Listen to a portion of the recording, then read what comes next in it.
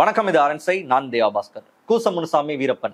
G ஃபைவ்ல வெளியாகி இருக்கக்கூடிய வீரப்பன் பத்தின டாக்குமெண்ட்ரி நக்கிரனுடைய எக்ஸ்க்ளூசிவான ஃபுட்டேஜஸ் ஃபோட்டோகிராஃப்ஸ் அவருக்கு நக்கிரனுக்கு வந்த கடிதங்கள் வீரப்பன் கைப்பட எழுதின கடிதம் ரெக்கார்டிங்ஸ் அதுவும் ஒரு ஆளை கொலை பண்ணும்போது எடுத்த ரெக்கார்டிங் அதுவும் நக்கிரன் ஆஃபீஸ்க்கு அவர் அமைச்சிருக்காரு இப்படி பல்வேறு ஒரு டைரக்டான சோர்சஸ்ல இருந்து ஒரு ஆதாரபூர்வமான ஆதாரப்பூர்வமான பல்வேறு தகவல்களை வீரப்பன் அப்படின்ற அந்த பிம்பம் வீரப்பன் அப்படிங்கிற நபர் யார் அப்படின்ற தொடர்பான ஒரு இமேஜை இந்த டாக்குமெண்ட்ரி வெளியே காமிச்சிருக்கு. குறிப்பாக இந்த டாக்குமெண்ட்ரியினுடைய சிறப்பு அப்படின்றது இதற்கு முன்னாடி வீரப்பன் தொடர்பாக வெளிவந்த பல்வேறு கதைகள் பல்வேறு ஸ்டோரிஸ் எல்லாமே வீரப்பன் யார் அப்படின்றதை போலீஸ் என்ன சொல்ல விரும்புறாங்க?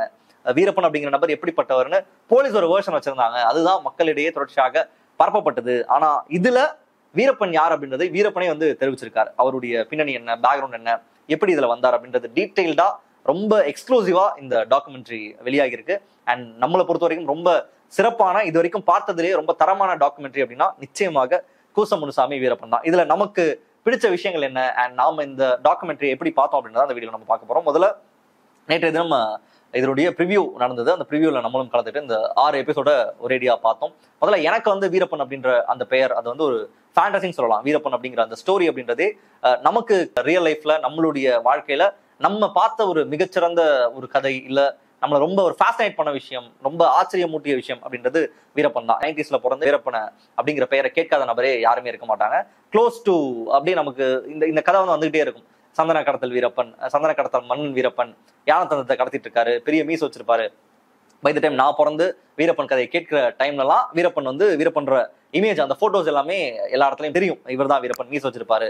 இவ்வளவு பெரிய மீஸ் வச்சிருந்தாலே வீரப்பனான்னு கேட்குற மாதிரி தான் நம்ம அந்த கதையெல்லாம் கேட்டுட்டு இருந்தோம். ஸோ ஆஃப்டர் யூடியூபுடைய பூம் யூடியூப்லாம் நிறைய வளர்ந்த பிறகு வீரப்பன் அப்படின்ற அந்த கண்டென்ட் வந்து ஒரு மிகப்பெரிய ஒரு செல்லிங் கண்டென்ட்டா மாறி போச்சு பல சேனல்ஸ் வந்து வீரப்பன் அப்படின்ற அந்த ஒரு நபரினுடைய கதையை மட்டுமே எக்ஸ்க்ளூசிவா சொல்லி அதற்கான ஒரு பெரிய ஆடியன்ஸே வச்சிருக்காங்க. அந்த அளவுக்கு மக்கள் அவர் வாழ்க்கையில் என்ன நடந்தது அப்படின்றதை தெரிஞ்சுக்க ரொம்ப ஆர்வமா இருந்தாங்க. நம்மளும் அப்படிதான். எனக்கு பர்சனலா அதனுடைய ஒரு மிகப்பெரிய அதை ஃபேசினேட் பண்ண விஷயம் என்ன? வீரப்பன் அப்படின்ற அந்த ஒரு பர்சனாலிட்டி என்ன வகையில நம்மள ஆச்சரியம் ஊட்டினாங்க அவர் வந்து எது வந்து ஒரு அஹ், தொடர்ச்சியா எக்ஸைட் பண்ணுச்சு அப்படின்னு கேட்டீங்கன்னா ஒரு மனிதர் ஒரு காட்டுக்குள்ள போறாரு. கிட்டத்தட்ட ஒரு இருபது ஆண்டுகளுக்கு மேல காட்டுக்குள்ள அந்த ஒட்டுமொத்தமாக அந்த காட்டுக்குள்ள அவர் வாழ்ந்துட்டு இருக்காரு அங்கேயே சர்வைவ் ஆயிருக்காரு. வெளியே வராம அதே இடத்துலயே அத்தனை வருஷம் அவரால் சர்வை பண்ண முடிஞ்சது. அண்ட் அவ்வளவு போலீஸ் ஃபோர்ஸ் கிட்டத்தட்ட ஆறாயிரம் போலீஸ் ஃபோர்ஸ் ரெண்டு government Tamil Nadu government Karnataka government இணைந்து முயற்சி எடுக்கிறாங்க. அவரை பிடிக்க அந்த முயற்சி எல்லாம் ஃபெயிலியர் ஆகுது. மத்திய படைகள் கொண்டு வரப்படுது. பிஎஸ்எஃப் வராங்க சிஆர்பிஎஃப் வராங்க. இந்த மாதிரி மத்திய படைகள் கொண்டு வரப்பட்டும் அவரை பிடிக்க முடியல. இப்படி கவர்மெண்ட்டுக்கே ஒரு ஒட்டுமொத்த இந்தியா அப்படின்ற ஒரு மிகப்பெரிய ஜனநாயக நாடு. அந்த கவர்மெண்ட்டே சவால் விட்ட நபர் அப்படின்னா எப்படி அது சாத்தியமாச்சு? நம்மள்ட்ட இவ்வளவு போலீஸ் ஃபோர்ஸ் இருந்தது ஆர்மி இருந்தது இவ்வளவு பேர் இருந்தும் எப்படி அவரை வந்து பிடிக்கவே முடியல? எப்படி அவர் அந்த காட்டுல சர்வைவ் ஆனாரு? எப்படி அவருடைய வாழ்க்கை அங்க நடந்துச்சு? அந்த காட்டுல அவங்க என்னெல்லாம் பண்ணிட்டு இருப்பாங்கன்றது ரொம்ப எக்ஸைட்டிங்கான ஃபேக்டரா இருந்தது. அதனால நான் பல வீடியோஸ் பலர் பார்த்திருப்பீங்க. வீரப்பனுடைய லைஃப் ஸ்டைல் பத்தி யூடியூப்ல பேசுற பல வீடியோஸை பார்த்திருப்பீங்க. புக்ஸ்ல படிச்சிருக்க கூடும். அப்படி நானும் ரொம்ப நாளா ஃபாலோ பண்ணிட்டே தான் இருக்கேன். யூடியூப்லேயும் பல வீடியோஸ்லாம் கேட்டிருக்கேன். அண்ட் இந்த டாக்குமெண்ட்ரி பார்க்காததுக்கு முன்னாடியே எனக்கு ஓரளவுக்கு அவருடைய கதைகளில் பல்வேறு நடந்த முக்கியமான விஷயங்கள் எல்லாமே எனக்கு ஞாபகம் வந்துருச்சு. பிகாஸ் அவ்வளோ விஷயம் வந்து நான் பார்த்துருக்கேன் படிச்சிருக்கேன். பர்சனலாகவே எனக்கு இருந்த இன்ட்ரெஸ்ட்னால அதில் அந்த அந்த ஊர் பேராக இருக்கட்டும் செங்கப்பாடின்ற அந்த ஊராக இருக்கட்டும் அங்கே வர மாதேஸ்வரன் மலை பூதிபடுகா அப்படின்ற அந்த இடத்துல ஒரு ஸ்டேஷன் அந்த ராமபுரம் ஸ்டேஷன் அதை போயிட்டு இவர் வந்து டான்சம் பண்ணுறது அடிச்சாங்க எல்லாரையும் காலி பண்ணுறது அப்புறம் அங்கே இருக்கக்கூடிய கேரக்டர்ஸுடைய பேர் அவருடைய க்ளோசஸ்ட் எய்ட் அவருடைய தளபதியாக இருந்த Sethukuzhi Govindan and baby Veerappan and அவங்க கூட இருந்த அந்த ஊர்ல ரொம்ப காமனா மாதையன் அப்படிங்கிற பேர் வந்து எல்லா இடத்துலையும் வைக்கப்படும். சேவி கவுண்டர் அப்படின்ற அந்த ஒரு நபர்.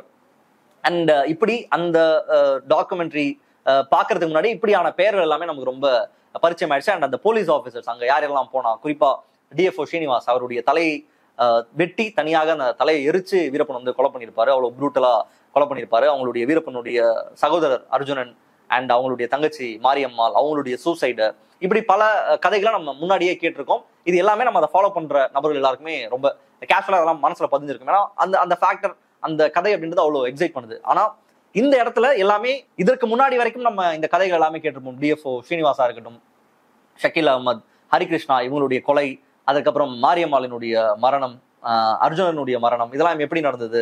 டிஎஃப்ஓ ஸ்ரீனிவாச ஏன் இவ்வளவு கொடூரமா கொலை செய்தாங்க? டிஎஃப்ஓ ஸ்ரீனிவாஸ் நல்ல மனிதர் தானே அப்படின்ற மாதிரியான பல்வேறு பிம்பங்கள்லாம் நமக்கு முன்னாடியே இருந்ததான் கோபாலகிருஷ்ணன் அப்படிங்கிற ஒரு போலீஸ் அவர் இன்னமும் உயிரோடு இருக்காரு. ரொம்ப ப்ரூட்டலான ஒரு பாம்பிளாஸ் கண்ணியடி கண்ணி வெடி வச்சு வீரப்பன் அவரை தாக்கி கிட்டத்தட்ட முந்நூறு அடி பறந்தாருன்னு இந்த டாக்குமெண்ட்ரியில் வந்து தெரிவிச்சிருந்தாரு. அதை பார்த்தேன் நான் முன்னூறு அடி கிட்ட பறந்தார் அவர் அப்படின்றதெல்லாம் தெரிவிச்சிருந்தாரு. ஸோ இந்த டைம் வந்து இதற்கு முன்னாடி நம்ம இந்த கதைகள் எல்லாத்தையுமே மற்றவர்கள் சொல்லி தான் நம்ம கேட்டிருப்போம். வீரப்பன் என்கிட்ட சொன்னாருன்னு ஒரு பத்திரிகையாளர் சொல்றதா இருக்கட்டும் இல்ல அதை ஃபாலோ பண்ணிட்டு இருக்கிற அந்த காலகட்டத்தில் வாழ்ந்த பத்திரிகையாளர்கள் எல்லாரும் இந்த டாக்குமெண்ட்ரியில வந்து பேசியிருப்பாங்க. முன்னாடி வந்த டாக்குமெண்ட்ரிஸ்ல ஸ்டோரிஸ்ல அவங்க வந்து சொல்லுவாங்க. "ஏ- ஏ, நான் பார்த்தேன் நான் கேள்விப்பட்டேன் சொன்னாங்க அப்படின்றதெல்லாம். இந்த முறை வீரப்பன் நேரடியாக பேசுகிற காட்சிகள் அதுதான் ரொம்ப பிரத்யேகமானது. அண்ட் ஃபர்ஸ்ட் டைம் ஒரு டாக்குமெண்ட்ரி சீரீஸ்ல இவ்வளவு சிரிச்சிருப்பாங்களான்னு தெரியாது. ஏன்னா அந்த அளவுக்கு வீரப்பனோட காமெடி சென்ஸ் அப்படின்றது இருந்தது. ரொம்ப அப்படி லெஃப்ட் ஹேண்ட்ல தான் டீல் பண்ணுவாரு. அண்ட் அவரை போட்டு கொடுத்த நபர்களை வந்து அவர் எப்படி பார்த்தாரு? எவ்வளவு காமெடியா என்ன கூட்டிட்டு போய் ஒருத்தன் மாட்டி விட்டான்? மாட்டி விட்டு எனக்கே தெரியாத மாதிரி முடிச்சிட்டு இருந்தான்ற மாதிரி அவர் ஃபன்னியா பேசுறது எல்லாமே ரொம்ப ரொம்ப ரொம்ப நேச்சுரலா இருந்தது. இவர் தான் இவ்வளவு பில்டப் பண்ணி நம்ம கிட்ட சொன்ன மனிதரா அப்படின்ற மாதிரியான வகையில நமக்கு செமையா ஆச்சரியம் ஊட்டியது. அண்ட் அவர் பல முக்கியமான விஷயங்களை இந்த டாக்குமெண்ட்ல அவர் முன் வச்சிருக்காரு. குறிப்பாக சந்தன கடத்தல் மன்னன் வீரப்பன் அப்படின்னு அதுதான் அவருடைய பெயர். ஆனா அவர் சொன்னாரு வெறும் பதினோரு மாதங்கள் நான் பண்ண அந்த ச- அஹ் சந்தன மர கிட்டத்தட்ட ஒரு கோடி நான் சம்பாதிச்சிருப்பேன். அது மட்டும் தான் நான் பண்ணது. மற்றது எல்லாமே இங்க தொடர்ச்சியாக நடந்துட்டே இருக்க விஷயம். அதாவது ஏற்கனவே சந்தன மர கடத்தல் அப்படின்றது இங்க ஏகபோகமாக நடந்துட்டு இருக்கக்கூடிய ஒரு விஷயம். அதற்கப்புறம் எனக்கு இந்த யானை தந்தம்லாம் முடிஞ்சிச்சு. என்கிட்ட காசு இல்லை. என்ன நம்பி நிறைய பேர் இருக்காங்க. எனக்கு கிராமத்தில் கொடுக்க வேண்டிய காசு இருந்தது. என்னோட சர்வைவலுக்கு காசு தேவைப்பட்டுச்சு. அப்போதான் இந்த மாதிரி மரம் ஓட்டலாம் அப்படின்ற மாதிரியான தகவல் எனக்கு கிடைச்சது. அண்ட் அதை விற்பதற்கு அப்போது அங்கிருந்த ஆளுங்கட்சியினுடைய பிரமுகர்களுடைய தொடர்பு. அவங்க எப்படி ஹெல்ப் பண்ணாங்க? அங்க சேவி கவுண்டர்னு ஒரு நபர் இருந்தாரு. அவர் எவ்வளவு ஹெல்ப் பண்ணாரு? அது அதன் வழியாக எப்படி சந்த மரங்களை இல்ல அவர் பண்ற மற்ற இல்லீகலான ஆக்டிவிட்டிஸ்க்கு எப்படி அங்க இருக்கக்கூடிய ஆளும் வர்க்கம் அண்ட் எப்படி நாங்க வந்து போலீஸை சரி கட்டுவோம் ஃபாரஸ்ட் டிபார்ட்மெண்ட்டை சரி கட்டுவோம் அதற்கு காசு கொடுக்குற வேலை. அதாவது ப்ரொடக்ஷனை இவர் பார்த்துப்பாரு சந்த மர கடத்தலா இருக்கட்டும் இல்ல தந்தத்தை கடத்துறதா இருக்கட்டும் இதெல்லாம் அந்த ஆட்களை வைத்து வேலை வாங்குறதெல்லாம் வீரப்பன் செஞ்சிருவாரு. அண்ட் வெளியே கொண்டு போறலாம் அவருடைய பிரதர் பார்த்துப்பாரு. அதற்கு ஆளுங்கட்சியினுடைய சப்போர்ட் ஆளும் அரசுகளினுடைய சப்போர்ட் எம்எல்ஏக்களினுடைய சப்போர்ட்டோட ஃபாரஸ்ட் டிபார்ட்மெண்ட்டுடைய சப்போர்ட்டோட எப்படி நடந்தது அப்படின்றதெல்லாம் ரொம்ப கிளியரா தெரிவிச்சிருந்தாரு. முதல்ல அவர் எப்படி காட்டுக்குள்ள போனார் அப்படின்றதும் ரொம்ப சிறப்பானது குறிப்பாக அவங்க அப்பா கிட்ட இருந்து எப்படி அந்த ஹண்டிங்ன்ற அந்த விஷயத்தை நான் கத்துக்கிட்டேன் வேட்டை அப்படின்றது எனக்கு எவ்வளவு ஈர்ப்பை கொடுத்ததுன்றத வீரப்பன் தெரிவிச்சா அவங்க அப்பா வந்து முஸ்கோந்தின்னு சொல்ல போற அந்த குரங்கு ஒன்று அதை வேட்டையாடுறது வந்து அங்கே ரொம்ப காமனாக நடந்துட்டு இருக்கக்கூடிய விஷயம். அதை வந்து அவங்க அப்பா செஞ்சுட்டே இருக்காங்க. அதன் மூலமாக தான் வீரப்பன் வந்து அந்த ஹண்டிங்ல வந்து அவருக்கு ரொம்ப ஆர்வம் வருது. ஒரு வேட்டை மேல ரொம்ப பிரியம் ஏற்படுது. அது கூட அதை செய்யும் பொழுது அந்த டைம்ல யானை வேட்டைக்கு போகிற நபர்கள் அஹ், தந்தத்தை கோரி யாராவது டிமாண்ட் பண்ணுவாங்க. தந்தத்துக்கான ஒரு கள்ளச்சந்தை தொடர்ச்சியாக நடந்துட்டே இருந்திருக்கு. தந்தத்துக்கான டிமாண்டும் நிறைய இருந்திருக்கு. அந்த சமயத்துல அங்க யானை வேட்டைக்காக போகக்கூடிய நண்பர்களோட இவரும் சேர்ந்து போறாரு. இவருக்கு உறவினர்கள் கூட சேர்ந்து அந்த யானை வேட்டைக்கு போறாரு. அந்த யானை வேட்டையில அவர் கத்துக்கிட்டது. எப்படி யானையை சுடணும்? எந்த இடத்துல சுட்டா? யானை உடனடியாக சாகும். நெத்திப்பொட்டில் சுட்டா யானை வந்து செத்துரும். இல்லை வேற ஒரு சைடில் வந்து அடிச்சா யானை வந்து காலி ஆகிடும் ஸோ இந்த மாதிரியான நுவான்சஸ் எல்லாம் அவர் வந்து அங்கே போய் தான் கற்றுக்கிட்டேன் அவங்க கூட ட்ராவல் பண்ணும்போது கற்றுக்கிட்டேன் அப்படின்றதெல்லாம் வீரப்பனே தெரிவிச்சிருந்தாரு. அண்ட் இப்படி தான் அவர் வராரு. அதுக்கப்புறம் ஒரு ரைவல் கேங் ஒன்று உருவாகுது. அவங்களுக்கும் இவங்களுக்கும் பிரச்சனை நடக்குது. அதுக்கப்புறம் போலீஸ் அதில் இன்வால்வ் ஆகிறாங்க அப்பதான் இவர் வந்து ஒரு கொலையை பண்றாரு. ரெண்டு பேரை கொலை பண்றாரு. இதுதான் அவர் செய்யற முதல் கொலை. அப்பவே போலீஸ் வந்து அவரை பிடிச்சிடுறாங்க. ஆனா அதுல இருந்து அவர் தப்பிச்சு வெளியே போறாரு. அதற்கப்புறம் வீரப்பனை காவல்துறையால பிடிக்கவே இல்லையா. ஃபாரஸ்ட் டிபார்ட்மெண்டால பிடிக்கவே முடியல. இரண்டு கவர்மெண்டால பிடிக்கவே முடியல. கடைசியா பிடிச்சதுன்றது அவருடைய மரணத்தின் போது தான். அதுக்கப்புறம் ஒரு வாட்டி கூட வீரப்பன் சிக்கவே இல்லை போலீஸோட கையில. ஆனா அவர் தெரிவிச்ச பல்வேறு கருத்துக்கள் ரொம்ப அதிர்ச்சியாக இருந்தது. குறிப்பாக ஒரு மலையோட உச்சியில வந்து கிட்டத்தட்ட ஒரு வருஷம் வந்து வீரப்பனோட டீம் வந்து இருந்ததுதான். அந்த மலைக்கு டாப்ல வந்து அவங்க இருப்பாங்களா? எப்பயுமே அவங்க ஸ்டே பண்ற இடம்ன்றது ஒரு மலையினுடைய உச்சியா இருக்குமா? அந்த மலையோட உச்சியில இருக்கும்போது சுத்தி அவங்களால த்ரீ சிக்ஸ்டி டிகிரிஸ்ல பார்க்க முடியும். யார் யார் வராங்க? எந்த சைட்ல இருந்து வராங்க? எங்க போறாங்க? வராங்க? அப்படின்ற தகவல் எல்லாமே அவங்களுக்கு கிளியர் கட்டா அங்கேருந்து பார்க்க முடியும்ன்ற அஹ், தகவல்லாம் தெரிவிக்கப்பட்டிருந்தது. அது மட்டும் இல்லாம அந்த இடத்துல இருக்கும்போது பல பல முறை வந்து போலீஸ் வந்துச்சு போச்சு. ஏகப்பட்ட டைம் போலீஸ் வந்தாங்க போனாங்க. ஆனா நாங்க இருக்கிற இடத்த வந்து அவங்களால கண்டுபிடிக்கவே முடியலன்றத வீரப்பன் தெரிவிச்சிருந்தாரு. அண்ட் இதுல ரொம்ப இன்ட்ரெஸ்டிங்கா இருந்தது. எப்படி போலீஸ் எப்படி அங்க அத்துமீறினாங்க? வீரப்பன் தேடுதல் வேட்டையில போலீஸ் செய்த அட்டுழியங்கள் எல்லாமே இங்க தொடர்ச்சியாக அம்பலப்பட்டு இருக்கு. ரொம்ப நகைச்சுவையாக பல்வேறு விஷயங்களை வீரப்பன் வந்து பேசியிருந்தார். அதாவது நம்ம வந்து நினைச்சிட்டு இருக்கிற அந்த பிம்பம் இல்ல எல்லாரும் இங்க வந்து அவர் கொடுக்குற பில்டப் அப்படிலாம் இருந்துச்சான்னு கேட்டீங்கன்னா அப்படிலாம் இல்ல. ரொம்ப நேச்சுரலா இருந்தது. ரொம்ப ரியலிஸ்டிக்காக ஒருத்தட்ட நம்ம ஜாலியா உட்காந்து பேசிட்டு இருந்தோம். இல்ல ஒருத்தட்ட ஒரு அவருடைய கதையெல்லாம் கேட்டோம். யாரோ ஒருத்தட்ட உட்காந்து நீங்க எப்படி உங்களுடைய லைஃப்ல ஒரு ஐம்பது வயசு ஒரு ஆள் கிட்ட உட்காந்து உங்களுடைய லைஃப்ல நீங்க கடந்து வந்த பாதையெல்லாம் சொல்லுங்க. என்ன ஒரு இன்ட்ரெஸ்டிங்கான விஷயங்கள்லாம் நடந்தது அப்படின்னு கேட்டோம்னா என்ன பதில் சொல்லுவாங்களோ அதே மாதிரி அவ்வளவு இயல்பாக தான் வீரப்பன் தன்னுடைய முழு கதையுமே தெரிவிச்சிருந்தாரு. அவருக்கு பூசப்படுற பிம்பங்கள் அதெல்லாம் வந்து இந்த இடத்துல வந்து ஒண்ணுமே இல்லாம தான் போச்சு. அண்ட் uh, அவர் வந்து தனக்கு எதிராக யார் இருந்தாலும் இல்ல தனக்கு தன்னை எதிரியாக தனக்கு துரோகம் செய்கிற நபர்களை கொலை செய்ய தயங்காத ஒரு நபராக தான் அவர் இருந்தார். அதுக்கு ரொம்ப ப்ரூட்டலா ஒரு பன்னிரெண்டு வயது குழந்தை கூட அவர் வந்து கொலை செஞ்சிருக்காரு. நம்ம வந்து இன்னைக்கு அவரை ஹீரோன்னு சொல்றாங்க வன பாதுகாவலன்லாம் பலரும் சொல்லிட்டு இருக்காங்க. அப்படி இல்லாம அவர் வந்து நம்ம பில்டப் பண்ணிட முடியுமான்னு கேட்டீங்கன்னா அப்படிலாம் தெரியல. அவர் வந்து ஒரு காட்டுக்குள்ள வாழக்கூடிய அவருக்கு அவ்வளவு புனித பிம்பமோ இல்ல ஒரு ஹீரோய்க்கான இமேஜோ கொடுக்கலாமான்னு கேட்டீங்கன்னா எனக்கு அதுல பெரிய உடன்பாடெல்லாம் கிடையாது. ஒரு பன்னிரெண்டு வயது குழந்தையெல்லாம் அவர் வந்து கொண்டு இருக்காரு பிகாஸ் தன்னை வந்து ஒருத்தர் காட்டி கொடுத்தாருன்னு சொல்லி அவரை கொலை பண்ணிட்டு அது கூடவே இருந்த ஒரு பன்னிரெண்டு வயது குழந்தை அது வந்து நான் கோவத்துல கொலை பண்ணிட்டேன் அப்படின்னு சொல்லி வீரப்பன் செஞ்சுட்டார் அப்படின்றதெல்லாம் அந்த டாக்குமெண்ட்ரியில பதிவு செய்யப்பட்டிருந்தது. ரொம்ப முக்கியமான விஷயம் இந்த இடத்துல எல்லா விக்டிம்ஸும் பேச வைக்கப்பட்டிருந்தாங்க. வீரப்பனால் பாதிக்கப்பட்ட விக்டிம்ஸ் அதாவது ஒரு ஒரு ஒரு போலீஸுடைய கதையை சொல்லுவார். நம்ம வந்து போலீஸ் வந்து எந்த எக்ஸ்டென்ட்டுக்கு போவாங்க? இல்லை அதிகார வர்க்கம் ஒருத்தரை வந்து பிடிக்கணும். அவர் வந்து ஒரு த்ரெட்டாக இருக்காரு. அவரை வந்து நம்ம காலி பண்ணணும் அப்படின்னா அதற்கு எவ்வளோ எக்ஸ்டென்ட்டுக்கு போவாங்கன்றதுக்கு ஒரு பெஸ்ட்டு கேஸ் சினாரியோவாக நம்ம வீரப்பன் எடுத்துக்கலாம். அவ்வளவு மோசமான கொடூரமான சம்பவங்கள்லாம் நடந்திருக்கு. வீரப்பன் தேர்தல் வேட்டை அப்படிங்கிற பேர்ல அங்க வாழ்ந்த மனிதர்கள் மீது அவ்வளவு அடக்குமுறை ஒடுக்குமுறையை அரசுகள் செலுத்தி இருக்கு அப்படின்றது வந்து நிச்சயமாகவே ரொம்ப ஒரு ரொம்ப பார்க்கவே ரொம்ப பரிதாபமாகவும் ரொம்ப கொடூரமாகவும் இருந்துச்சு. வாஜாத்தையினுடைய வழக்கு அதனுடைய தீர்ப்புலாம் இன்னைக்கு அவங்க எல்லாரும் கன்விக்ட் ஆயிருக்காங்க. வழக்கினுடைய தீர்ப்பு கிட்டத்தட்ட இருபது முப்பது ஆண்டுகள் போராட்டத்துக்கு பிறகு கிடைச்சிருக்கு. ஆனா இந்த இடத்துல அவ்வளவு கொடூரங்களை வந்து நிகழ்த்தியிருக்காங்க காவல்துறை. வீரப்பன்ற பேர்ல நிறைய பேர் இதுக்கு வந்து சாட்சியாகவும் இருந்திருக்காங்க. விடுதலை படத்துல ஒர்க் ஷாப் காட்சி வரும். பெண்கள் எல்லாம் நிர்வாணமா நிக்க வச்சு மிளகா பொடி வச்சு ஏதோ பண்றது அந்த மாதிரியான கொடூரங்கள்லாம் நடந்ததெல்லாம் காமிச்சிருப்பாங்க. அது அது எல்லாமே இன்னைக்கு நேரடியாக அந்த விக்டம்ஸ் எல்லாம் இதுல பேசியிருப்பாங்க.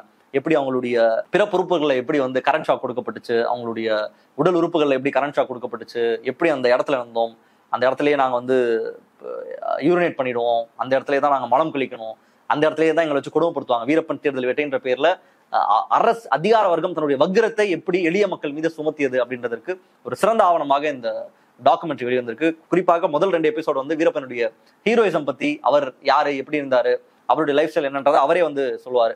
தன்னுடைய லைஃப்ல நடந்த முக்கியமான விஷயங்கள் வேட்டைக்கு எப்படி அவர் போனாரு அண்ட் uh, செய்த கொலைகள் எதனால செஞ்சாரு அம்மாவினுடைய மரணம் இப்படி பல்வேறு விஷயங்களை அவர் வந்து குறிப்பிட்டிருப்பாரு. முதல் மூன்று எபிசோட்ல எல்லாத்தையுமே அவர் குறிப்பிட்டிருப்பாரு. நான்காவது எபிசோட்ல தான் அந்த விக்டிம்ஸ் எல்லாரும் பேசியிருப்பாங்க. அது வந்து ரொம்ப கொடூரமா இருந்துச்சு. எவ்வளவு அநியாயங்களை அழிச்சாட்டியங்களை அரசு செஞ்சிருக்கு அதிகார வர்க்கம் செஞ்சிருக்கு அந்த மக்கள் மீது எஸ்டிஎஃப்ன்ற பேர்ல அதிரடிப்படைன்ற பேர்ல அங்க வாழ்ந்த மக்கள் மீது எவ்வளவு வன்முறைகள் தொடுக்கப்பட்டிருக்கு. ஒரு பக்கம் நீ வந்து வீரப்பனுடைய ஆள் காட்டி வீரப்பனுக்கு நீ தான் சப்போர்ட் பண்ணன்னு சொல்லி டேரக்டா போய் அவங்களுடைய வாழ்க்கைன்றத ஒரு ஆடு மேய்க்கிறாங்கன்னா அந்த ஆடை திருடி எப்படி தின்னுருக்காங்க? எவ்வளவு ஆடுகள் அங்க கொல்லப்பட்டு கிட்டத்தட்ட ஆயிரக்கணக்கான ஆடுகளை திருடி அதிகார வர்க்கம் தின்னு இருக்கு போலீஸ் தின்னு இருக்காங்க அதுவும் ஒரு காவல்துறை அதிகாரியுடைய பேரெல்லாம் குறிப்பிடப்பட்டிருக்கு. அதனால அவரை கொலை செய்தேன். கொலை முயற்சி கண்ணி வெடி வச்சு அதுல எத்தனை பேரை கொலை பண்ண அப்படின்றத வீரப்பன் தெரிவிச்சிருந்தாரு. அதுக்கப்புறம் ரொம்ப காமெடியா அந்த விஷயத்தையுமே வந்து ரொம்ப காமெடியா தான் சொல்லியிருப்பாரு. ஆடு கறி திங்கிறதுக்காக கடவா காஞ்சு போயிருக்கான்னு சொல்லி அந்த போலீஸ் ஆஃபீஸரை சொல்லியிருப்பாரு. அப்புறம் வந்து போலீஸினுடைய ட்ரைனிங் பிகாஸ் இவங்க வந்து ஷக்கீல் அகமதினுடைய கொலை சம்பந்தமா அவர் பேசியிருப்பாரு. ஷக்கீல் அகமது ஹரிகிருஷ்ணா அப்படின்ற நபர் வந்து டிஎஃப்ஓ ஸ்ரீனிவாசனுடைய மரணம். வீரப்பனுடைய தங்கச்சி வந்து அவர் வந்து லூர் பண்ணி காதல்ன்ற பேர்ல ஏதோ லூர் பண்ணாரு ஏமாத்தினாரு ஏமாத்தி அவரை அவரை வைத்து வீரப்பனை பிடிக்கிறதுக்கு ட்ரை பண்ணாரு. அந்த அம்மா வந்து சூசைட் பண்ணிட்டு செத்துட்டு போய் செத்து போனாங்க. அதற்கப்புறம் வீரப்பன் அவரை பழி வாங்குறதுக்காக கொலை செஞ்சிருப்பாரு. இது தொடர்பாக பல்வேறு வேர்ஷன் வந்திருக்கு. இன்னைக்கு வீரப்பன் அதுல என்ன நடந்ததுன்றத அவருடைய பாயிண்ட் ஆஃப் வியூல இருந்து தெரிவிச்சிருக்காரு. அண்ட் டிஎஃப்ஓ ஸ்ரீனிவாசுக்கும் ஒரு அவர் நல்லவர் தான் சர்டிஃபிகேட் கொடுக்குற ஊர் மக்களும் இருக்காங்க. இந்த டாக்குமெண்ட்ல கூட அவருக்கான சர்டிஃபிகேட் எல்லாம் கொடுக்கப்படுது. அந்த கொலைக்கு பிறகு வரக்கூடிய இரண்டு காவலர்கள் அவர்களை வந்து வீரப்பன் கொலை செஞ்சிருப்பாரு. அந்த கொலை தொடர்பாக பேசும்பொழுது காவல்துறையினுடைய ட்ரைனிங் என்னடா கொடுத்து வச்சிருக்கீங்க போலீஸுக்கு? இதான் ஒரு ட்ரைனிங் ஆடா. ஏன்னா அவங்களே ஒன்றும் தெரியாமல் இருக்கானுங்க. அண்ட் போலீஸ்கிட்ட காசு வாங்குற நபர்களை வந்து அவனுங்க ஒரு பத்து பைசா கொடுக்க மாட்டானுங்க. என்கிட்ட கேட்டால் நான் லட்சக்கணக்காக கொடுப்பேன். கோடிக்கணக்காக கொடுப்பேன். என்ன போய் காட்டி கொடுக்குறேன்னு சொல்லி மக்கள் மீது நிகழ்த்திய கொலைகளை தன்னை காட்டி கொடுத்ததுக்காக ஒரு ஏழு பேரை அவர் கொலை செஞ்சிருக்காரு. அந்த ஏழு பேரை எப்படி கொலை செஞ்சேன்? அப்படின்னு போலீஸினுடைய வன்முறைகள் இல்ல போலீஸை வந்து லெஃப்ட் ஹேண்ட்ல டீல் பண்றது அப்படின்றதை வீரப்பனது தன்னுடைய ஜென்ம விரோதியாக காவலை காவல்துறை அதிகாரிகளையும் அரசு அதிகாரிகளையும் பார்த்துருக்காரு அதிகார வர்க்கத்தையும் பார்த்துருக்காரு. அண்ட் ஒரு பாயிண்ட் அவர் திருந்தவும் முயற்சி செஞ்சிருக்காரு. இப்படி அவருடைய லைஃப்ல நடந்த பல்வேறு முக்கியமான விஷயங்களை இந்த டாக்குமெண்ட்ரி பேசியிருக்கு. வீரப்பனோட கதை வந்து எனக்கு எக்ஸைட்டிங்கா இருக்கு. அந்த- கதை என்ன நடந்துச்சுன்னு தெரிஞ்சுக்கணும். அவர் வந்து அரசு ஒரு அதிகார வர்க்கம் நினைச்சா ஒரு நபரை என்ன பிடிப்பதற்காக எந்த எக்ஸ்டன் வரைக்கும் போவாங்க? அதற்கு என்ன நடந்தாலும் அதை கவலைப்பட மாட்டாங்க. எவ்வளவு பேர் மீது வன்முறை நடத்தப்பட்டாலும் அது குறித்து அதிகார வர்க்கம் கவலை கொள்ளாது அப்படின்றதற்கு உதாரணமாக தான் இந்த கேஸ் வந்து அமைஞ்சிருக்கு. பிகாஸ் அவ்வளவு வன்முறைகள் அவ்வளவு கொடூரம் அங்க வாழ்ந்த மக்கள் மீது நிகழ்த்தப்பட்டிருக்கு. இன்னைக்கும் அவங்க வாழும் சாட்சியாக உயிரோடு இருக்காங்க. எல்லாரும் இந்த டாக்குமெண்ட்ரியில பேசியும் இருக்காங்க. அவர்களுக்கான நீதி இன்னைக்கு வரைக்கும் கொடுக்கப்பட்டுச்சான்னு கேட்டீங்கன்னா இல்ல. இந்த தேர்தல் வேட்டையில கலந்து கொண்ட அதிகாரிகளுக்கு சன்மானம் வழங்குவதற்காக நூத்தி எட்டு கோடி ஒதுக்கப்பட்டு அவர்களுக்கு பணம் கொடுக்கப்பட்டிருக்கு அவர்களுக்கு வீடுகள் கொடுக்கப்பட்டிருக்கு டபுள் ப்ரொமோஷன் கொடுக்கப்பட்டிருக்கு. இவங்க எல்லாம் யார் அப்படின்னா அங்க இருக்க எளிய மக்கள் மீது வன்முறை செலுத்திய நபர்களாக தான் இருக்காங்க. அண்ட் வீரப்பன் அப்படின்ற நபர் எப்படி உருவானா அப்படின்றதற்கும் ஒரு ஃபண்டமெண்டலான ஒரு கேள்வி இந்த டாக்குமெண்ட்ரி எழுப்பியிருக்கு. பிகாஸ் காடு காடு சார்ந்து வாழ்ந்து கொண்டிருக்கக்கூடிய மக்கள் அந்த மக்களினுடைய ஒப்பீனியனே கேட்காமல் அரசு ஒரு முடிவு எடுக்கிறாங்க. வன பாதுகாப்பு சட்டம் அப்படின்னு ஒரு சட்டம் கொண்டு வரும்பொழுது அங்க காடை சார்ந்த இவ்வளவு நாள் வாழ்ந்துட்டு இருக்க மக்களுக்கு மாற்று வழியை ஏற்படுத்தி கொடுக்காமல் ஒரு சட்டம் கொண்டு வரப்படுது. அவங்க காடை தான் சார்ந்திருக்காங்க. அந்த காடில் நீ இனிமேல் போய் வேட்டையாடக்கூடாது நீ அங்கே போய் எதுவும் பண்ணக்கூடாது காடை சார்ந்து நீ இருக்கக்கூடாது அப்படின்னு சொல்லும் பொழுது காடு இவர்களை நம்பி இருக்கு இவர்கள் காட்டை நம்பி இருக்காங்க. இதர் இதை புரிந்து கொள்ளாமல் அரசு கொண்டு வரக்கூடிய ஒரு திட்டம் வீரப்பன் அப்படிங்கிற ஒரு நபரை உருவாக்கி இருக்கு அப்படின்றதுதான் நம்மளுடைய புரிதல். அண்ட் இதுல பேசின விக்டம்ஸனுடைய கதைகள் எல்லாம் ரொம்ப கொடூரமா இருந்துச்சு. வீரப்பனால் கொலை செய்யப்பட்ட காவலர்கள் அந்த விக்டமும் பேசியிருக்காங்க. வீரப்பனுடைய இந்த ப்ரூட்டலான மர்டர்ல ஒருத்தரை கொலை செய்யணும் ஒரு காவலர் மீது இவருக்கு கோபம் இருக்கு. அவரை கொலை செய்வதற்கு ஒரு பெட்டாலியனே காலி பண்றாரு அப்படின்னா அந்த ஃபேமிலிஸ்லாம் எவ்வளவு துன்பத்துக்குள்ளானாங்க எவ்வளவு கொடூரங்களை அவங்க அனுபவிச்சாங்கன்ற மாதிரியான கதைகளும் இதுல பேச பட்டிருக்கு. ஸோ ஆன் த ஹோல் இந்த கதை அப்படின்றது நிச்சயமாக நமக்கு ஒரு முக்கியமான ஒரு பெர்ஸ்பெக்டிவ் தரும். ஒரு சம் பிரச்சனையை நம்ம எப்படி அணுகணும்? முதல்ல வீரப்பன் அப்படின்ற நபர் வந்து எப்படி உருவாகுறாரு? எதனால உருவாக்கப்பட்டாரு? அண்ட் இவரை காலி செய்யறதுக்கு அரசுகள் என்னென்ன முயற்சிகளை மேற்கொண்டாங்கன்ற ஒரு கம்ப்ளீட்டான டீட்டெயில இந்த டாக்குமெண்ட்ரி கொடுத்துருக்கு. இன்னும் நிறைய சீசன்ஸ் வர இருக்கு. கிட்டத்தட்ட ஒன்பது மணி நேரம் ஃபுட்டேஜ் இருக்குன்னு சொல்லி நக்கீரன் கோபாலன் தெரிவிச்சிருந்தாங்க. And நக்கீரனுடைய டீமுக்கு நம்மளுடைய வாழ்த்துக்களை வந்து தெரிவிச்சுக்கிறோம்.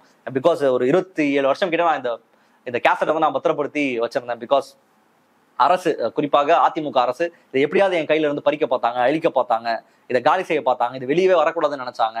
அண்ட் வீரப்பன் பேசுற பேட்டி அந்த டைம் சன்ல வெளியாச்சு. அந்த பேட்டியில முழுமையாக ஜெயலலிதா வந்து காலி பண்ணியிருப்பாரு. அதிமுகவையும் ஜெயலலிதாவையும் அந்த ஆட்சியும் ஆயிரத்தி தொள்ளாயிரத்தி தொண்ணூத்தொன்னு தொண்ணூத்தாறு இருந்த அந்த ஆட்சியை மிக மோசமாக அவர் வந்து மோசம் செஞ்சிருப்பாரு. ஜெயலலிதா பர்கூர் தொகுதியில தோத்து போனதற்கு இதுவும் வந்து ஒரு முக்கியமான காரணம் அப்படின்றதை வீரப்பனுடைய டாக்குமெண்ட்ல குறிப்பிட்டிருப்பாங்க. அண்ட் அவருக்கு இருந்த அந்த பொலிட்டிக்கல் பில் தொடர்பாகவும் அவர் பேசியிருந்தாரு. நான் வந்து அரசியலுக்கு வந்தா என்ன பண்ணுவேன்? மக்களுக்கு நான் என்ன பண்ணுவேன்? இங்க இருக்கக்கூடிய அரசியல்வாதிகள் என்ன பண்றாங்க? அண்ட் அதிமுக மீது இருந்த அவருக்கு இருந்த ஒரு கோவம் வெறுப்பு பிகாஸ் அந்த டைம்ல அவர்கள் செலுத்திய வன்முறை தான் அந்த தேர்தல் வேட்டை வீரப்பன் தேர்தல் வேட்டைன்ற பேர்ல அவர் செய்த அட்டுழியத்தை தான் அந்த மக்கள் ரொம்ப கொடூரமா பாதிக்கப்பட்டிருந்தாங்க. அதை எல்லாமே அவர் ரிஃப்ளெக்ட் பண்ணியிருப்பாரு. ஜெயலலிதாவை மிக கடுமையாக விமர்சிச்சிருப்பாரு. குறிப்பா சொன்னோம்னா இந்த டாக்குமெண்ட்ரியை காவல்துறை அதிகாரிகள் இல்ல காவல்துறையை சேர்ந்தவர்கள் அதிமுக காரர்கள்லாம் பார்த்தாங்கன்னா செம்ம கடுப்பாயிருவாங்க. ஏன்னா அந்த அளவுக்கு வச்சு விளாசி இருக்காரு வீரப்பன். அண்ட் இந்த டாக்குமெண்ட்ரி பறைசாட்டுகிற முக்கியமான விஷயம் அப்படின்றது அதிகார வர்க்கம் நினைச்சா என்ன மாதிரியான தாக்குதல் வேணா மக்கள் மீது செலுத்த முடியுன்றதற்கு ஒரு உதாரணமாக தான் இந்த டாக்குமெண்ட்ரி அமைஞ்சிருக்கு.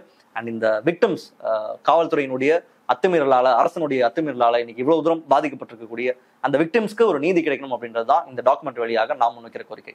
மற்றொரு நிகழ்ச்சியில் சந்திப்போம். நன்றி வணக்கம். அரண்சை நண்பர்களுக்கு வணக்கம். அரண்சை ஊடகம் சுயேட்சையாக இயங்குவதற்காகவே உருவாக்கப்பட்டது. நாம் செய்கிற வேலை உண்மையிலேயே மக்களுக்காக செய்கிறோம் என்பதை நீங்கள் நம்பினால் வாய்ப்பு இருந்தால் இந்த ரேசர் பே கியூஆர் கோடுக்குள்ளே நீங்கள் வந்து அதை ஸ்கேன் பண்ணி எங்களுக்கு உங்களால் இயன்றதை விருப்பம் இருந்தால் ஆதரவு தெரிவிக்கலாம்.